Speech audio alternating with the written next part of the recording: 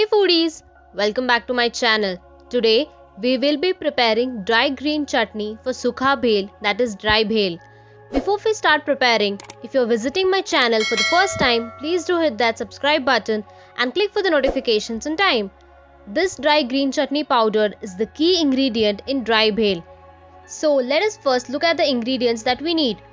1 cup of coriander leaves, 1 4th cup of mint leaves, 4 spicy green chilies, 3 tablespoons of roasted bengal gram, 2 inches of ginger, salt as per the taste, black salt half teaspoon, 1 teaspoon of dry mango powder, 1 teaspoon of cumin seeds.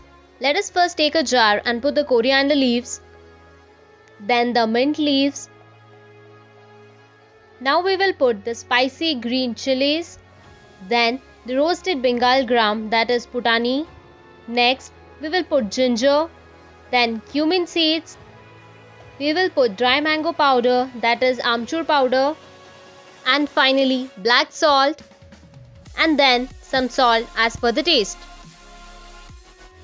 Let us now close the lid of the jar and blend it into coarse powder without adding water to it. The dry green chutney is perfect in texture and is spicy.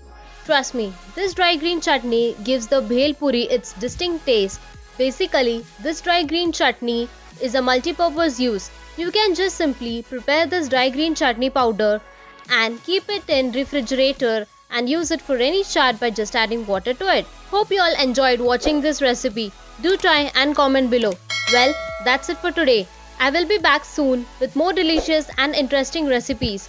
And if you're new to my channel, then be sure to hit that subscribe button before you go and don't forget to click on the bell icon for notifications on time. Thanks for watching.